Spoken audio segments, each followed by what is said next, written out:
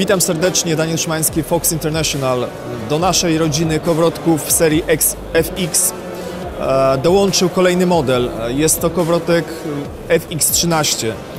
Bardzo duży model kowrotka z wolną oscylacją szpuli, z perfekcyjnym nawojem żyłki, e, z bardzo dużą pojemnością szpuli. E, Szpula tego kowrotka mieści 750 metrów, żyłki o średnicy 0,33 mm, więc jest to kowrotek przeznaczony do łowienia dystansowego, do dalekich wywózek, na, do łowienia na zbiornikach zaporowych, wszędzie tam, gdzie karpiarz potrzebuje umieścić zestawy na dużej odległości.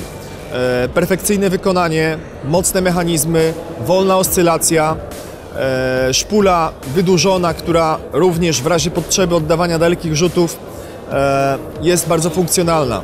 Tak jak wspomniałem na początku, rodzina kowrotków FX e, zawiera w sobie w tym momencie trzy modele przeznaczone do e, różnego typu wędkowania. FX9, model najbardziej kompaktowy, niewielki, niewielkich rozmiarów, przeznaczony na małe wody, małe zbiorniki, łowienie rzutowe, łowienie blisko brzegu, e, ale również mniejszą wywózkę. Średni model FX11, e, większa pojemność puli, dłuższe wywózki, również świetne walory rzutowe e, i ekstremalny model FX13, czyli ekstremalne wywózki, ekstremalna pojemność puli e, i przeznaczenie naprawdę do łowienia na najdalszych możliwych odległościach.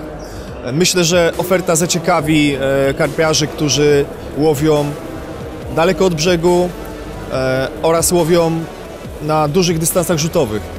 Szukajcie tych kowrotków w e, dobrych sklepach wędkarskich.